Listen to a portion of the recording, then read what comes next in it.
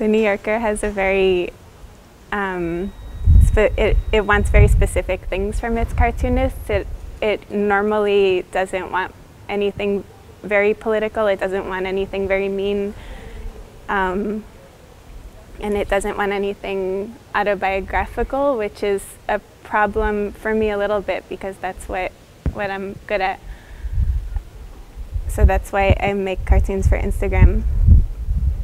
But um, yeah, I, I think the New Yorker is the opposite of Charlie Hebdo in a lot of ways. It, it's very, it, it has this kind of distance from things. It, it looks on, it doesn't, um, it has very good taste.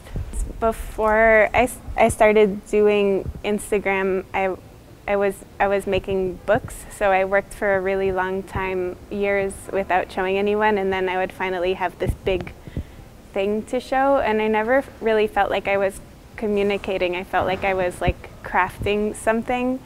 And now with Instagram, when I have an idea, I can turn it, I, I turn it into a drawing in order to explain it to myself, and I post it right away.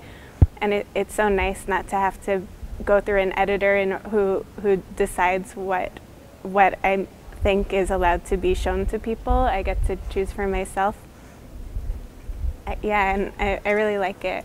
I don't like political cartoons, though. I, I just don't understand them. But I, I also don't understand politics.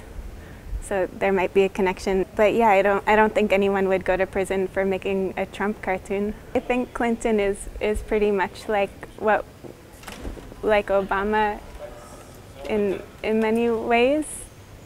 I think she's wonderful. I'm really excited that a woman is finally running. It's it's I, I could go on and on about how in how mad it is that we're not we haven't noticed that there hasn't been a woman president before.